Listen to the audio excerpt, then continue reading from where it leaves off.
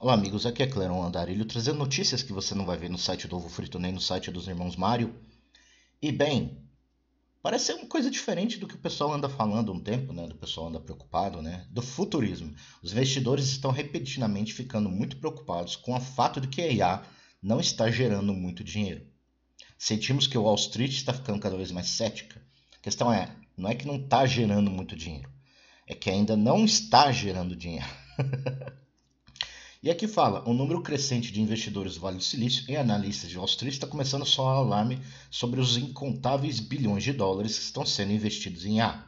Um excesso de confiança que, segundo eles, pode resultar numa bolha enorme. Como re relata Washington Post, os banqueiros de investimentos estão cantando uma música drasticamente diferente do que no ano passado. Estão começando a ficar cautelosos quanto à capacidade das big techs de realmente transformar a tecnologia em um negócio lucrativo. Apesar de seu alto preço, a tecnologia não está perto nenhum de precisa estar para ser útil, escreveu o analista de ações da Goldman Sachs.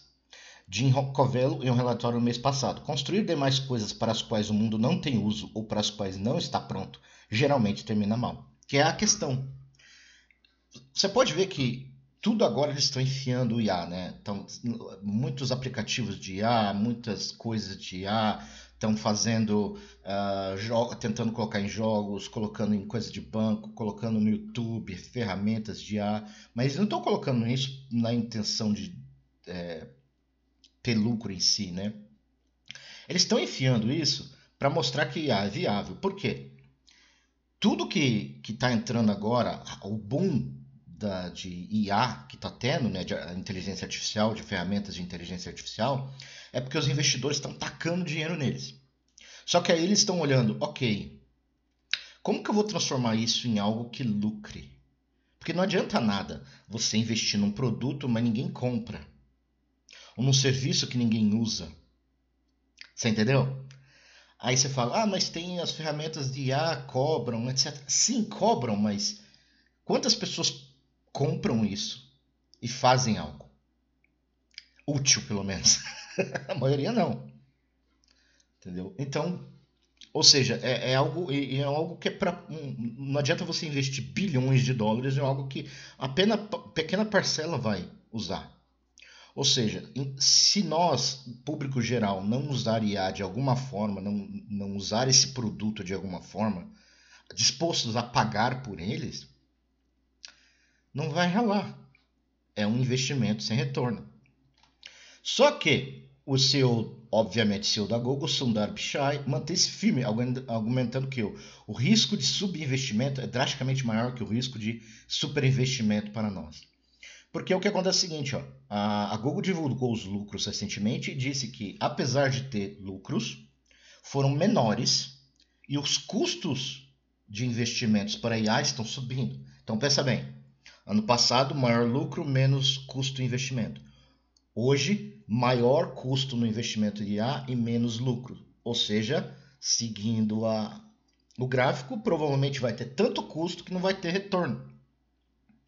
É semelhante a, a, ao fato de ter milhares e centenas de blogs, sites, Kotaku, IGN, etc. De, é, ou, no caso de Hollywood, né, é, serviços de stream, né, de livre, Netflix, Disney Plus, etc. Todo mundo achou que era uma boa ideia na época. Aí os investidores tacaram dinheiro. Mas agora estão perdendo dinheiro. Porque não é algo viável. Não só a economia está ruim, mas não é algo viável, não dá lucro. E agora está todo mundo né, voltando atrás. Isso está acontecendo com o Twitch, está acontecendo com a Disney, está acontecendo com tudo. Então, o mesmo se aplica aqui a IA. Todo mundo achou, putz, é uma boa ideia, vamos investir. Agora estão pensando, putz, não parece uma boa ideia. É melhor a gente parar aí, porque eles não sabem como ter lucro. Né?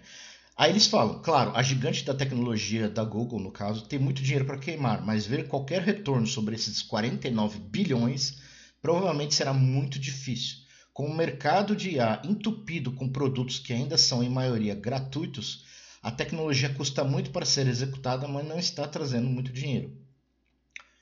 Desta forma, a Google está enfrentando desafios semelhantes à Microsoft e à Meta, que estão comprometendo grandes parcelas de seus recursos disponíveis com IA sem um plano claro de monetização. Então, basicamente, todas as grandes big techs estão investindo em IA, mas sem ideia de gerar um produto que possa monetizar, entendeu?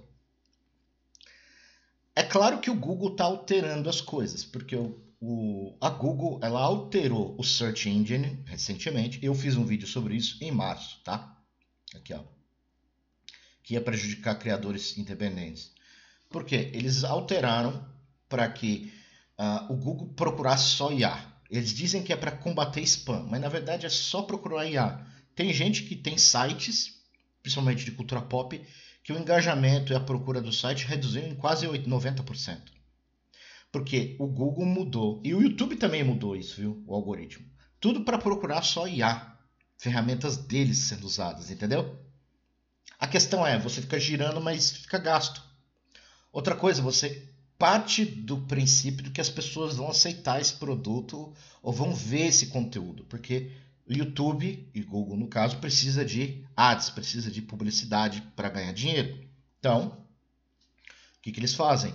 Se ninguém assistir, não tem ads. O, o, os caras, os patrocinadores não vão investir é, propagandas num lugar onde ninguém assiste. Aí eles vão perder dinheiro. E já está aqui, já, já bateu aqui, aqui notícia. Ó.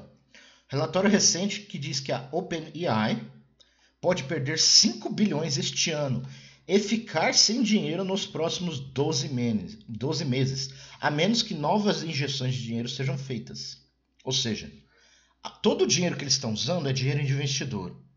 Como o investidor está vendo que não tem para onde ir, não tem para onde lucrar, eles param, ok, vou parar de dar dinheiro.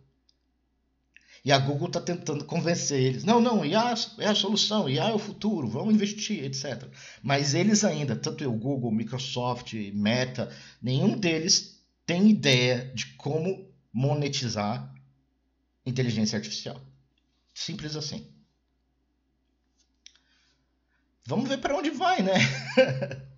Porque o que a Google fez está prejudicando criadores pequenos. Obviamente, criadores grandes como MrBeast, Asmongold, esses caras com bilhões de, de views, bilhões de, de inscritos, não vão ser afetados. O algoritmo automaticamente vai para eles, pela quantidade de gente que os segue.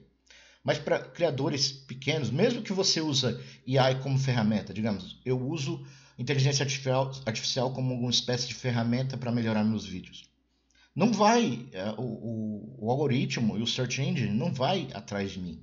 Ele vai atrás de coisa de IA, da Google. Ou seja, a Google deu tecnicamente um tiro no pé, mas ela gerou um monopólio. E, de certa forma, foi culpa nossa. Como assim? Bem, Google era um dos primeiros search engines, né, os, os sites de busca. Mas tinham vários. A questão é que o Google deixou tão fácil para a gente que a gente automaticamente foi para Google. Quem conhece aí, usou da internet da época, tinha um monte, tem o KD, Alta Vista, tinha outros é, tipos de search engines, de, de, sites de procura. Como todo mundo foi para o Google porque era mais fácil, o Google dominou e os outros morreram. Agora é tudo monopólio da Google.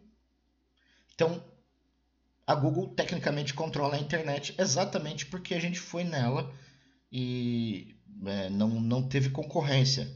Gente, como se diz, nós vamos para o mais fácil. E é por isso que a Google dominou.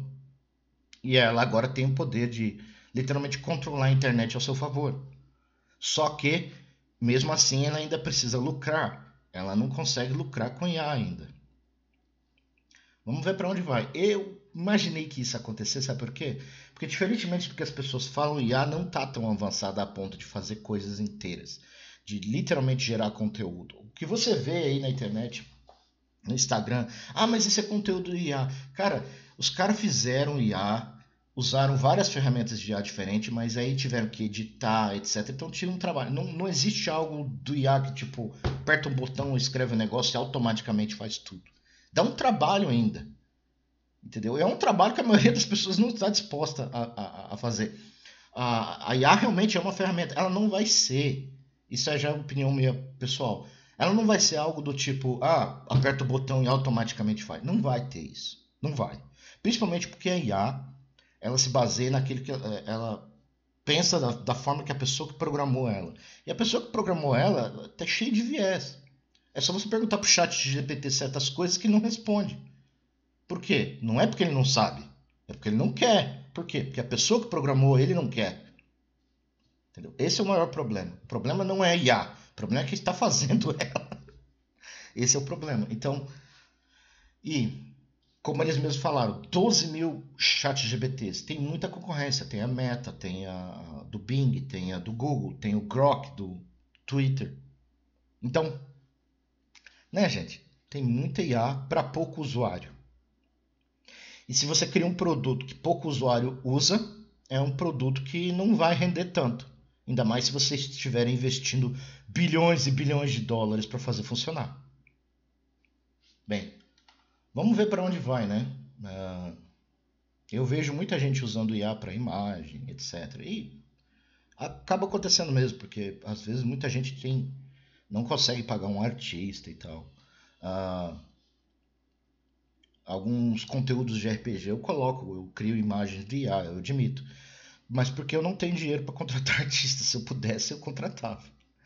Mas fazer o quê, né? É, ainda é uma ferramenta muito boa, mas eu não acho que vai ser um substituto do jeito que as pessoas estão falando. E eu acho que no momento que Wall Street e os grandes investidores perceberem que é uma ferramenta, mas não é algo que gera tanta grana assim. Aliás, eu acho que não gera grana.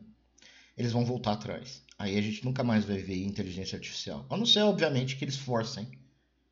É, a Google faça, é, manipule para que você seja obrigado a IA, né? E eu não duvido que eles façam isso.